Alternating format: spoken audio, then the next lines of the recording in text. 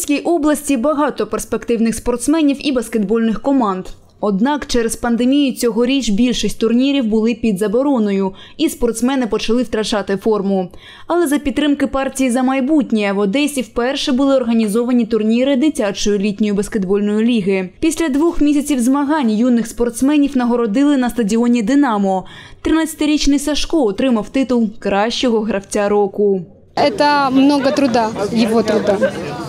Это каждый- каждодневные тренировки, это постоянные э, баскетбольные кемпы. Это баскетбол круглый год, без, без отдыха, без каникул. В основном по 6 раз в неделю. И еще дома сам тренируюсь тоже. Ну а дома что ты делаешь? Ну, в основном на самой работу подтягиваюсь. Э,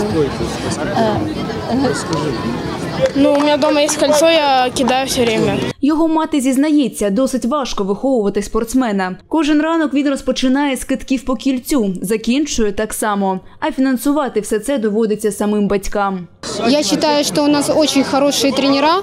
Э, Я считаю, что у нас мало площадок эм, и м, мало поддержки э, материальной э, детей, которые могли бы тоже ходить, потому что просто ходить этого мало, надо участвовать в соревнованиях. Любые соревнования – это выезд куда-то.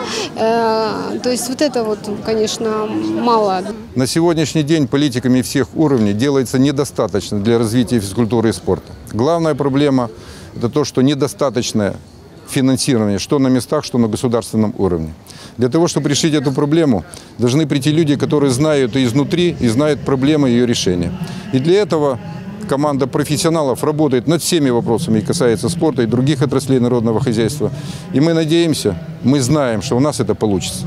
Саме тому політична партія за майбутнє активно підтримує спортивний рух та проводить подібні турніри, які в свою чергу дають можливість молодим спортсменам демонструвати себе на всеукраїнському рівні. Мне очень импонирует, что в Одессе проводится огромное количество детских турниров, э, много э, спортивных школ, баскетбольных клубов. Э, У детей есть э, возможность играть не только чемпионат Украины, но и э, внутриодесские баталии происходят очень захватывающие, и игр довольно много. Після нагородження малечі залишились дивитись гру чемпіонату України з баскетболу 3 на 3 Якби на карантинні обмеження цей вид спорту мав би увійти до олімпійської програми. Турнір серед дорослих також пройшов за підтримки партії за майбутнє. І дуже приємно відзначити, що переможцями серед чоловіків стала наша команда Динамо Одеса.